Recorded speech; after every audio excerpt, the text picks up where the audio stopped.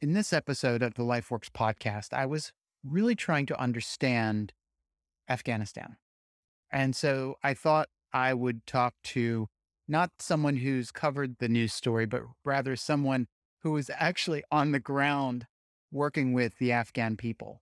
I decided to interview Laszlo Palko. Laszlo is a two tour veteran of Afghanistan, and he's also a Harvard educated professional in the area of public policy and government. So his perspective, not only as a soldier, but also as an academic, studying government is absolutely fascinating. He has an incredible story, and he talks about the objectives that we had going into Afghanistan, what we hope to accomplish, what we did accomplish, and what the impact is of the United States pulling out at this time. What's significant about this particular interview is that we recorded it on Memorial Day weekend of 2021, which is meaningful in and of itself. When we are releasing it, as of the date that we are releasing it, the United States has made the decision to pull out. Evacuations are moving speedily in progress, and the Taliban has taken over the entire country, not within 90 days as the intelligence assessment originally called for, but rather in a matter of less than two weeks, probably, if not in a matter of days. So I hope you enjoyed this episode of the LifeWorks podcast, and I hope it's as illuminating and enlightening to you as it was to me. If you had questions about why we were in Afghanistan, this is the video for you. Enjoy.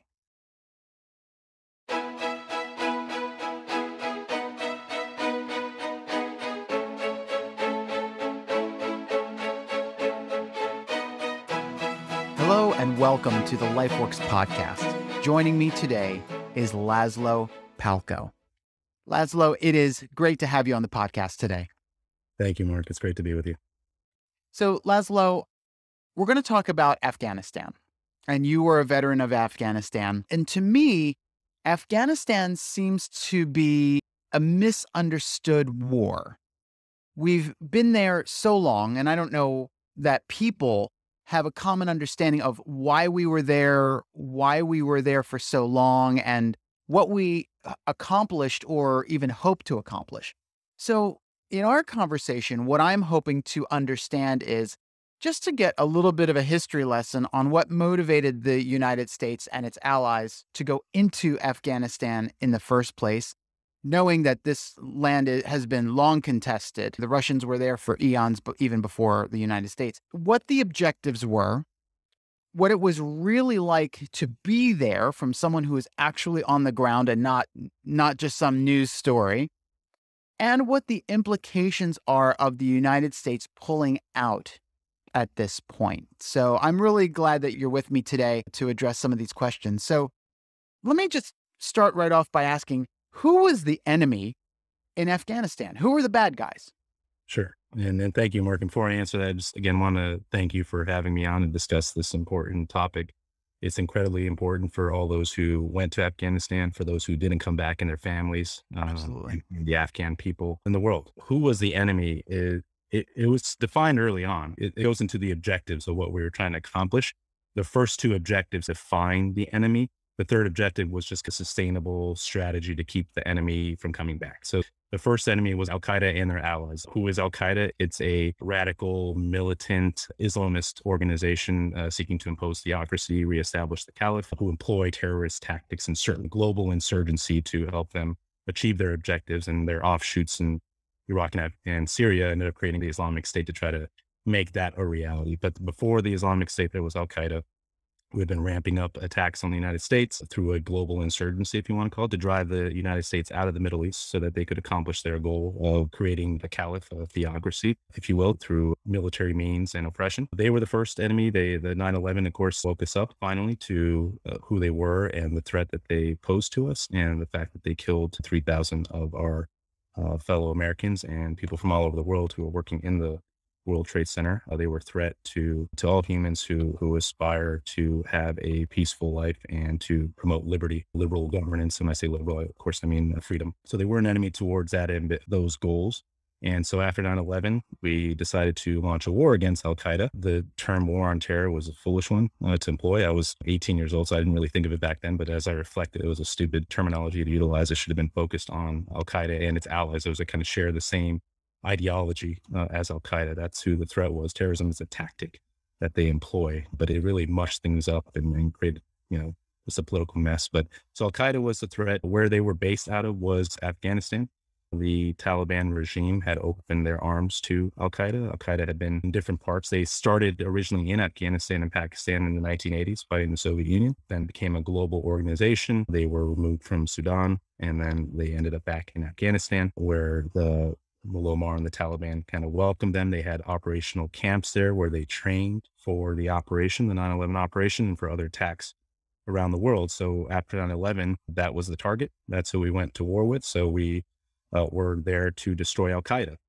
That was enemy number one, objective number one, if you will. Enemy number two, which became objective number two, was we first asked the Taliban to stop being an ally of Al Qaeda. We're going to give you an opportunity here to become the, to not be an ally anymore of Al Qaeda and turn them in, arrest them, and turn them into the international community in the United States for for trial or for for capture, so that we could stop any future attacks and bring to justice those who did 9/11. Uh, the Taliban refused to do so because they, while they don't necessarily share the the same global vision of the Caliph, they do share their offshoot. You have the Al Qaeda, which has roots in Wahhabism, created in, in, Saudi Arabia, that believes in the recreation of the global caliph. The Taliban has uh, it's a different kind of uh, element called Deobandism, which is a little bit more localized in the Pakistan, Afghanistan, maybe Central Asia region.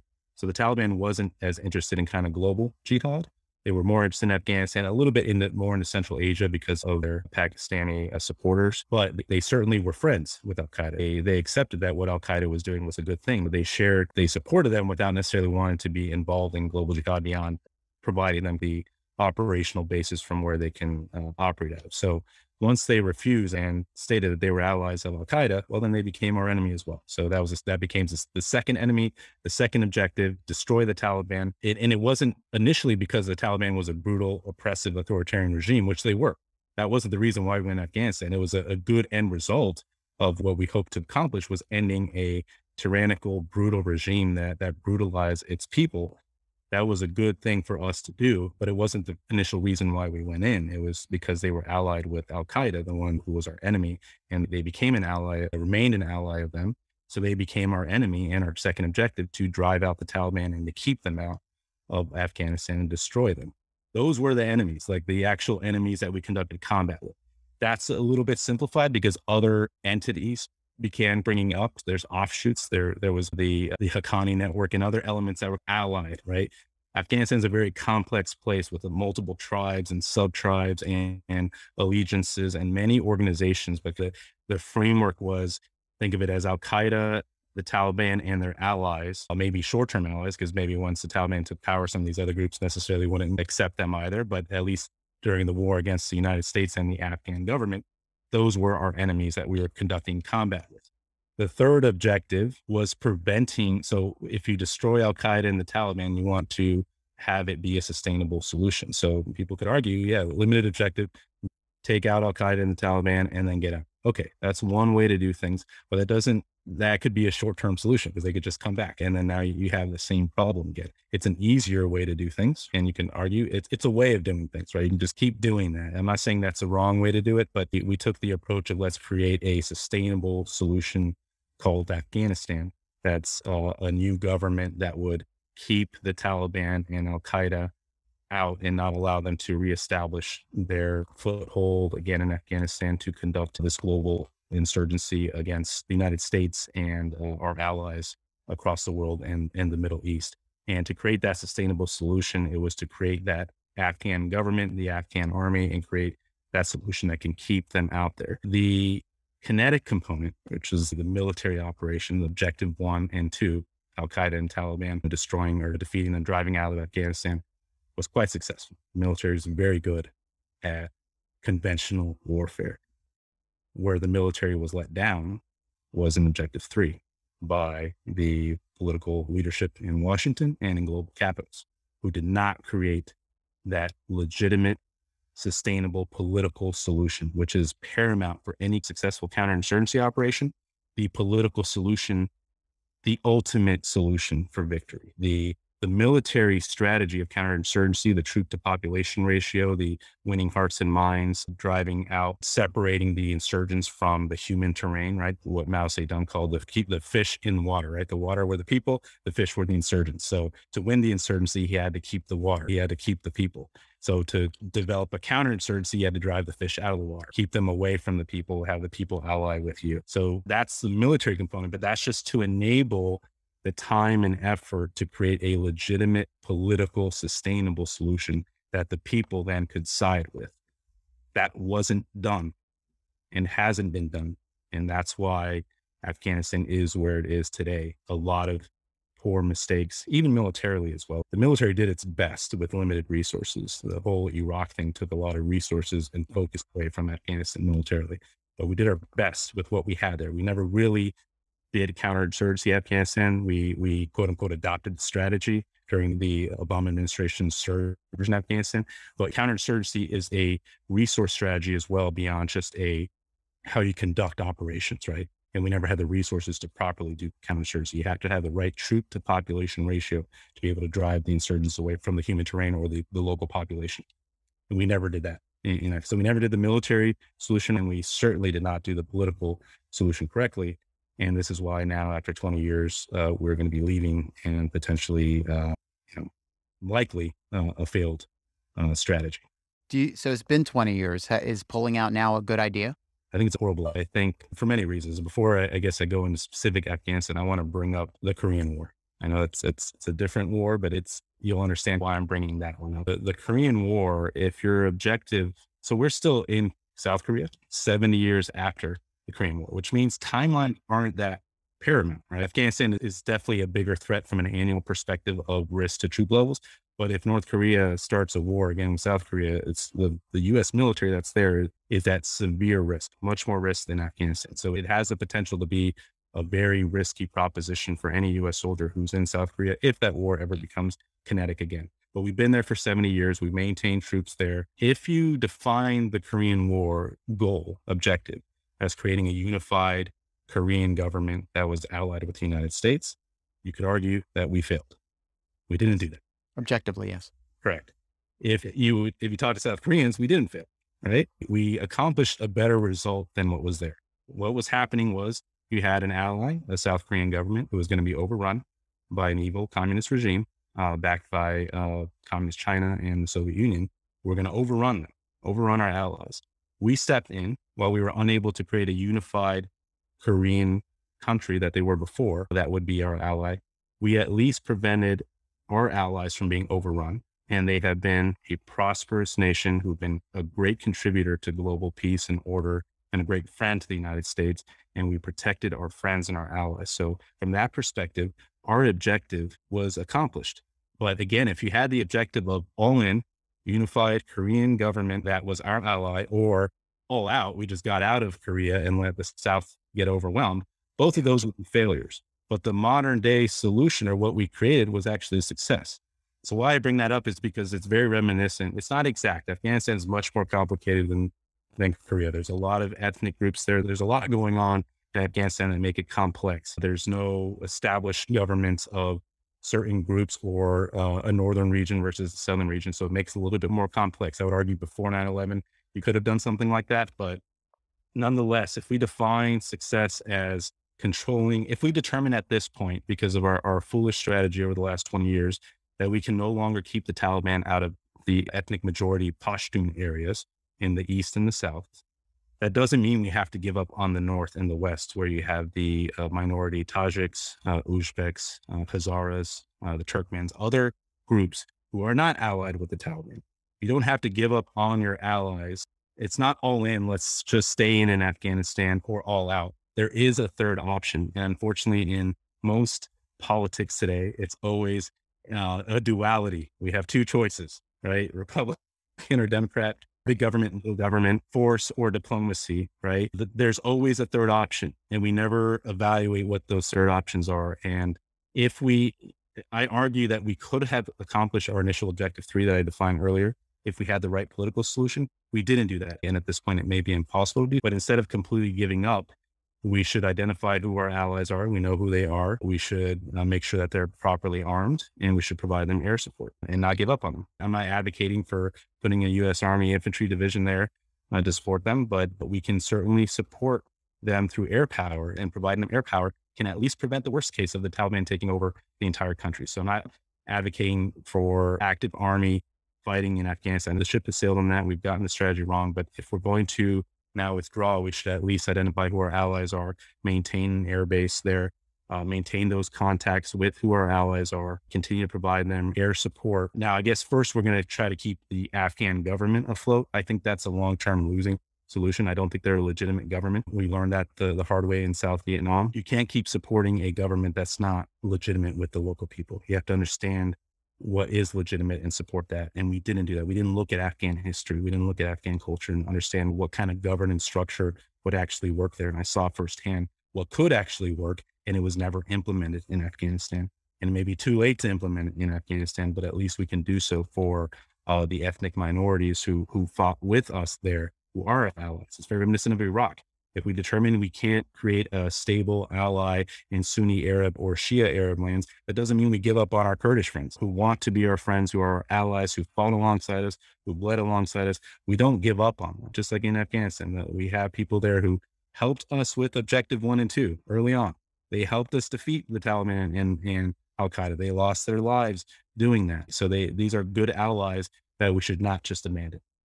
What was the attitude of the Afghani people toward the United States? Were they resentful, helpful, thankful?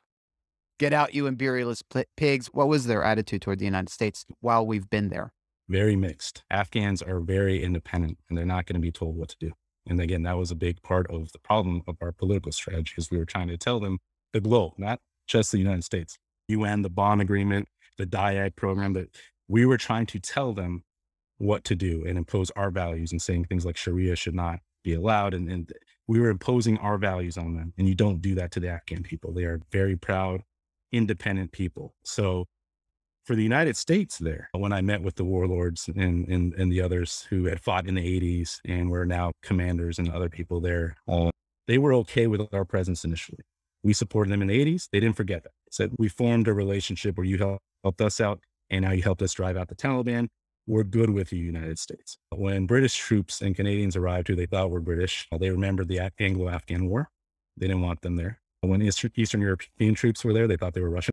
They did not want them. So I know we always try to do things from a global strategy. I know that's politically the popular thing to do. It doesn't always make sense on the ground. And we found that out because if you remember, kinetically, Afghanistan wasn't as bad as Iraq until 2005. And what happened in 2005? There was a couple of things. Local groups, the militia, were keeping the Taliban out. Big mistake. And then we also introduced NATO troops, the British and Canadians, down to RC South, the southern part of Afghanistan. And again, I told you those they did not forget the wars that their grandfathers fought. They weren't too happy with them there. And you started seeing the Taliban start doing a lot of raids. You can go back and look at in, in southern Afghanistan, 400, 500 Taliban fighters attacking Canadian and British posts starting to create legitimate inroads again with the people. And then that started spreading throughout the South and the East as well.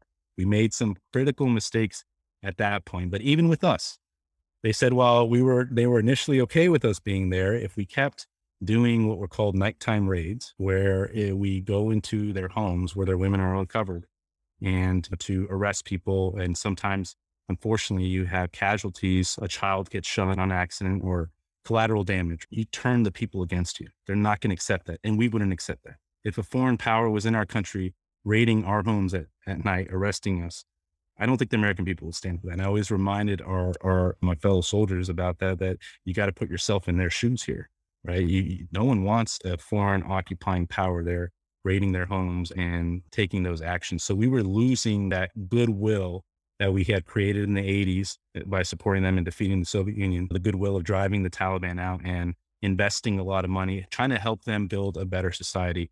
We were losing that goodwill because we never decided on whether we were going to go full counterinsurgency or counterterrorism. They're two different strategies. and we didn't have a uni- unity of effort, unity of command, we did not have it. And that's violation of, a, of an important management principle. What are you most concerned about if the United States leaves Afghanistan now? It's kind of multiple components for why I don't think we should withdraw. There's multiple aspects to it. First, the Afghan people who, who worked with us, who bled alongside us, who remain there, who are good people, who are ethnic minorities, who can be brutalized and murdered uh, by the Taliban when they return. These are good people that, that we lived with, that we, we got to know, uh, that just are like you and me. We, they want to have a family, they want to have a, a good life, and they don't want to be brutalized by a regime. So I'm very worried about them. I'm hoping we can do our best to, to, help them get out or at least to defend themselves, like I argued before. So I'm worried about them. I'm worried from a uh, national security standpoint, right? Where we had allies there. If we want to be successful in our foreign policy, we had to have alliances. And by definitions, to have alliances, you need allies. When you start abandoning your allies, it's difficult to maintain the support of alliances, right? And again, by withdrawing, are we then enabling the recreation uh, uh, of a uh, foothold, not just for the Taliban, but for the Islamic State, for Al Qaeda, for these groups that, again, will look to destabilize the Middle East and continue their global insurgency and conduct attacks here again? And then, third, from a veteran's perspective, those who did not come back, our brothers and sisters who did not come back, and their families here at home, if we leave and this war is a failure because we just aren't looking at a third way of doing things, what did they die for? You're a father, right? Can you imagine losing your child? For what? For nothing. If we fail, we owe it to them. They are the best of our citizens. Those families who, who remain here alone, without a father, without a spouse, without their child, we owe it to them to come up with a successful solution so their deaths are not in vain. And I get it. If there was no solution, I understand why you want to stop the bleeding. You want to stop any further veterans from being killed and creating more Gold Star families. You want to stop that. But when you have an opportunity to have a successful solution, you have it's your duty to to support those. Those are American citizens. They're they're constituents just like everyone else. We, we talk about policy and providing policy support, healthcare support, other things to people. These are our people as well, and they deserve that that means that their loss was not for nothing, but it was for making the world a better place.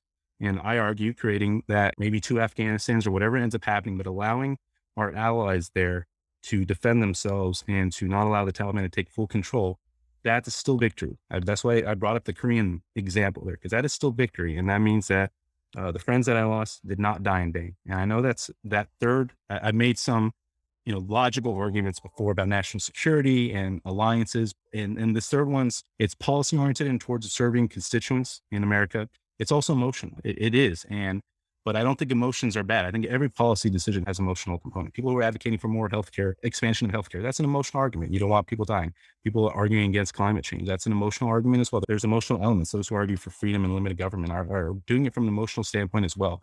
Emotions without logic is where you get yourself. You have to have the logical foundations as well. Just like logic without emotions is going to get you in trouble. We're not robots. Emotions tell you what is right, wrong, just.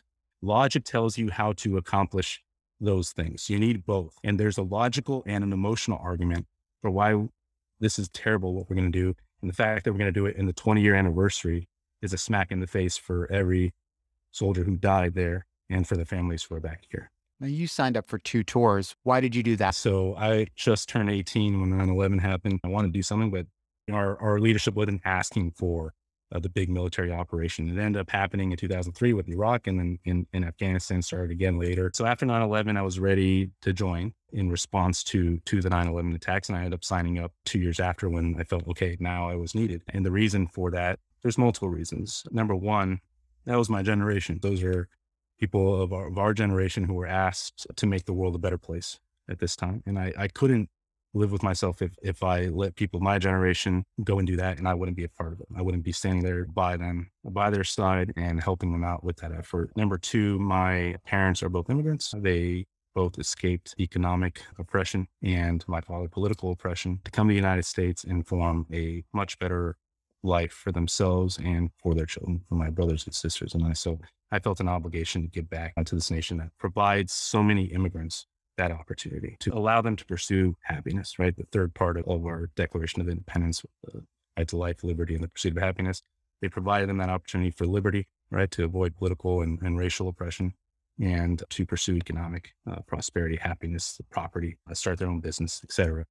Uh, they were given that opportunity here that they were not in the countries where they came from. So it was my obligation to get back. And then third, after 9-11, I started getting a little bit more into the study of international relations, American foreign policy, history, just understanding. I was 18 years old. This dramatic thing happens that just changes the world. I'm now an adult. I'm going to be part of this. It happens right when I'm 18. So I'm young. I'm of combat age. So I know now that the world is about to change and my world's about to change. I better start studying up on this. So I really immersed myself in the study of international relations, understanding what our role was and what we've done historically as a, as a nation. Not always perfect, but what we were able to do in the post World War II global order, right? The, the brilliant minds of the Truman administration who evaluated the history of human affairs and all the steps that resulted in this disaster known as World War II that nothing today compares to. The history of humans and tribes invading other tribes,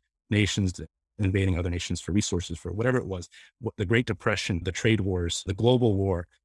What created that and what could we do to create a better world? And everyone always says they want to create a better world. The people who worked in the Truman administration actually did that. They really evaluated the history of human affairs and attempted to create a global order that, while not perfect, helped to create stability, helped open markets for commercial trade versus in, invasions for resources, a global order uh, with the United States playing the, the, lead role in that. And you can argue that since that time, we've had the greatest period of human prosperity, expansion of freedom throughout human history. And I can't advocate for those beliefs and principles without putting my money where my mouth is. So if I believe that military is a critical component to creating global peace and prosperity to save people like my parents who came from oppressive areas and po- extreme poverty to help them out, to do our part to create a better world because our country is made up of people from all over the world. So it's a rightful place to do that. I had to be willing to put my life on the line to live up to those ideals. And those were the reasons why I joined after 9 11 and signed up to go in the army. And I didn't know if I was going to Iraq or Afghanistan. I was hoping Afghanistan because I believed in in that uh, war much more than they did in, in the Iraq war. Not to say that the, the Iraq war and the veterans who fought there weren't trying to, you know, to do, to make the world a better place as well.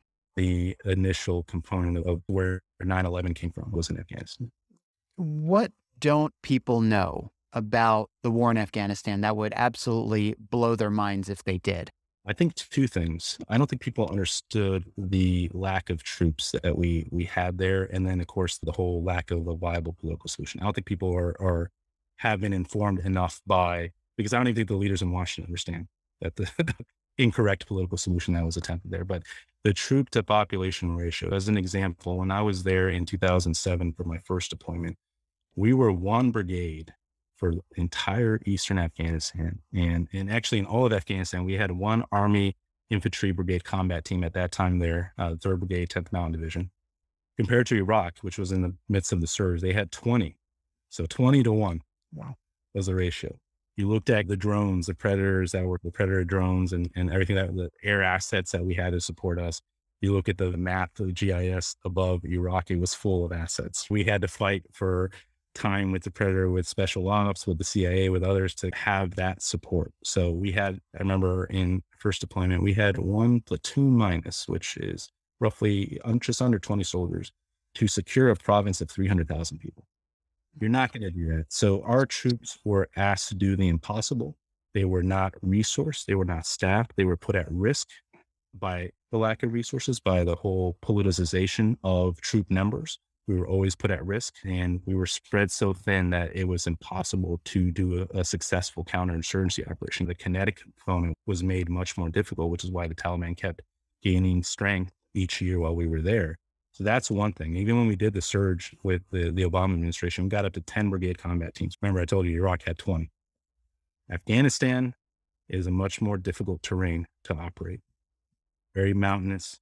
And the people there, like you mentioned earlier, have a strong history of driving out great powers and being successful in doing so. So to have underestimated the ability of the Taliban and those who are allied with them to win the rural mountainous areas and to be successful kinetically was a big mistake. And I don't think that the American people understood really how under uh, resourced our troops were that were over there. And the fact that we pursued a flawed political strategy with the Bonn Agreement and the creation of a strong unitary state in Afghanistan, a strong centralized government in Kabul, which is completely antithetical to Afghan history of successful governance models, which are more localized, local tribes empowered. And all the central government does is help keep negotiate peace between tribes and represent them internationally. That would have been the better model to empower locals. Remember, again, when the locals were, it's not the perfect solution that we would expect from a modern form of governance, but it was a stable solution. And with education, with economic support and cultural exchange and long term investments, they themselves could could build up their own nation and achieve what we would consider a better form of governance. But we tried to impose this heavily bureaucratized central government out of Kabul. People in the rural areas and other provinces did not want Kabul dictating to them. The thought of creating an Afghan national police, we don't even have that here in the United States. We have local police. They created a national police in Afghanistan, which was extremely corrupt, which was not legitimate, and we invested so much in a failed po- national police force instead of focusing our efforts on a, an effective Afghan army to again do that mission of helping keep the Taliban out and trying to keep peace between the local warlords or tribes, if you want to call it, who who work with us to keep the Taliban out.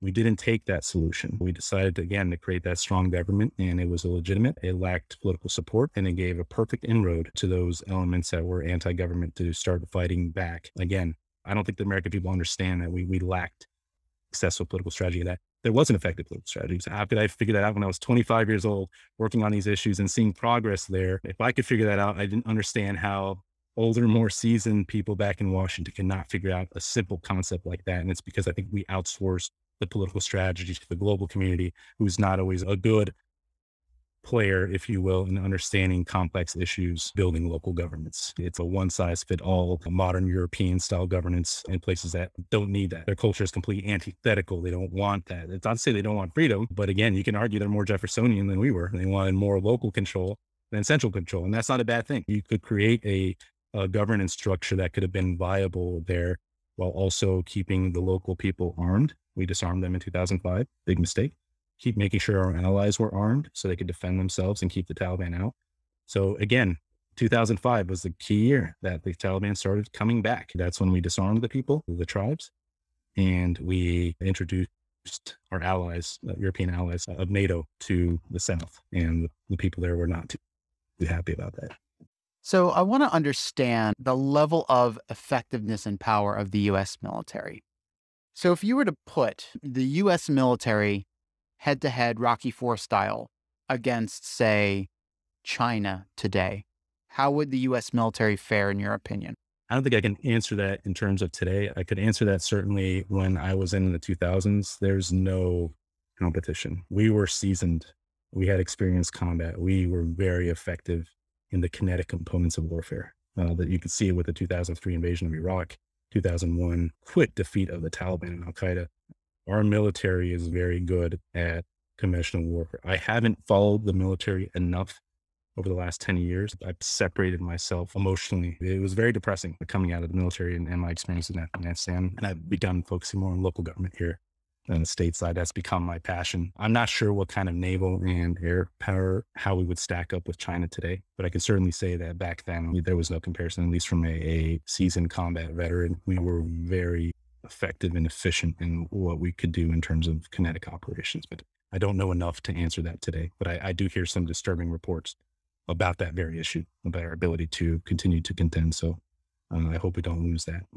What are you hoping people will take away from the last 20 years of the US being in Afghanistan? First and foremost, I think they need to take away the sacrifice of our Gold Star families and those who never came back. That's who, especially right now, this weekend, Memorial Day weekend, um, when we're doing this broadcast, they really can't forget that. Again, these are the best people, and, and we lost them. So that's first and foremost is to to not forget that, to not forget that we do have friends around the world, that most people are the same, that we all aspire to have family and to have peace and prosperity. It's Maslow's hierarchy of needs. it, it is true uh, from a psychological perspective. Most people just want to be safe, secure, and be able to pursue economic prosperity and take care of their families. Most people are the same. I don't care what religion, race, etc. And we have friends in Afghanistan, and we should not forget them. We have to do whatever we can to continue to help them because you don't have a friend to help you out like they did with us, with our objectives of defeating Al Qaeda as our first objective, which they did. They helped us do that. So a friend helps you out and then you abandon them. From a moral standpoint, I, I, I find a lot of issue with that. And, and I hope we don't forget that. We should also take away that we did our best. Those who went there, even though we, we may not have been successful, we did the best with the limited control we had over the situation. We gave it our all. Even those who weren't seriously injured or died, a lot of them gave up a lot in terms of their personal lives. And you just look at the divorce rates, even with myself, right? You just look at the divorce rates of the veterans who went through that, came back through the Great Recession. So a lot of us were getting out, we were in the midst of the Great Recession, couldn't find jobs. So we just fought a war for the country and then we come back and we can't find jobs. So the majority of my soldiers, we were all struggling at that point. So it took a huge toll on us, uh, in our personal lives, our, our ability to function. However, it's also helped us. I am in the person I am today, first and foremost, because of the wisdom of my parents and what they imbued in me, my education, undergrad and graduate, what, I put into that to learn all that I could about the world and management and governance and, and everything else, and my experience in Afghanistan. That is what shaped me the most out of any work experience for understanding how things truly work. When you're a child, you think that adults have their together. And then as you become an adult, you realize that's not the case. Organizationally, we struggle mightily. And I had to learn that as a naive young 20 uh, something year old going to a war that no, we don't know what we're doing. Cross agency coordination just does not happen. Management science is forgotten. And so I had to learn all those things as a young person. And I hope we don't lose sight of that as a nation, even though we have that important role to play that I argue is still an important role since the post World War II era. I don't believe our leadership our political system and structure is up to the task anymore. I really don't. And that's frightening for me. I think the World War II generation, while they had their faults, at least from a management and competence standpoint, I think they had to grow up very young. But my generation, I had to grow up very young. And I think that's why I'm effective today in what, what I do. So you had so many people who had to go through that in World War II. So you had a class of competent people who understood organization. And I think they helped us become prosperous. And if you notice, since the last of the World War II leadership started tailing off.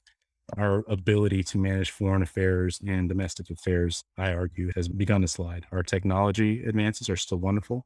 Our private sector still delivers. Our military is great, but I think we lack effective, competent leadership and management. And so we're not up to the task anymore. So I would be highly skeptical of any further military uh, interventions for our ability to be successful because I just don't trust the leadership in Washington uh, to figure out how to manage it properly when I was there, it was quite obvious that none of them had ever been uh, in a situation in a war or an counterinsurgency. And those who were, like Colin Powell and John McCain, were ignored about what needed to be done to be successful. So, again, I would be highly skeptical of any future ventures. And it's tough against the dichotomy because if we don't continue to play this role, the world can become a much worse place. But I just have lost faith in our ability to manage that effectively. Laszlo, thank you so much. Just incredibly enlightening. I want to just ask some general advice and lessons learned questions.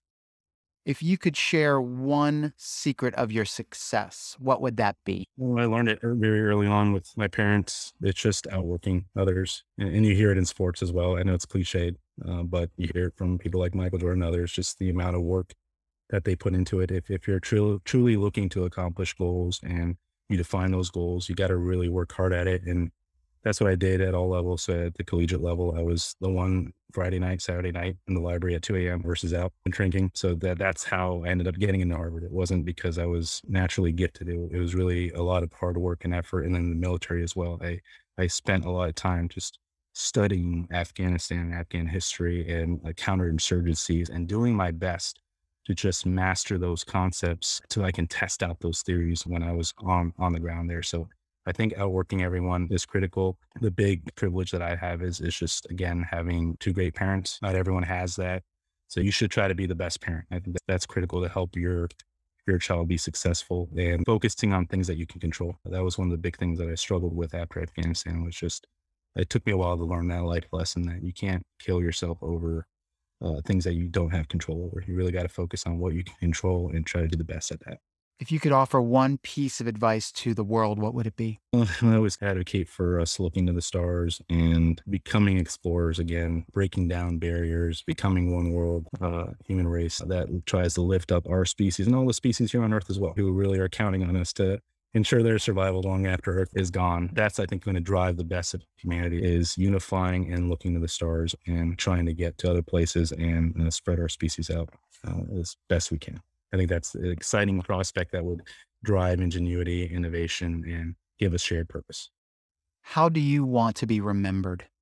So I think I would want my daughter to remember me as one of her favorite people ever and a great dad. I'm not sure I want to be remembered, but I would love my work and my ideas to, to be remembered. I'm always concerned when we try to deify people. I'm always more interested in their ideas and their actions. What did they do? As humans, we're all fallible, right? We all make mistakes nobody's perfect. We should be also judged uh, by our best actions, our ideals, and what we did and try to make our communities or the world a better place.